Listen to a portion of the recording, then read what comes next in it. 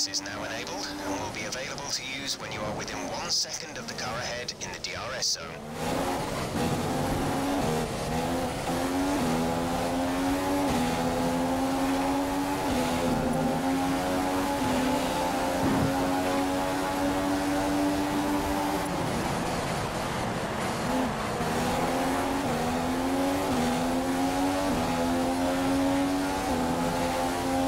Puts you into P2, second place.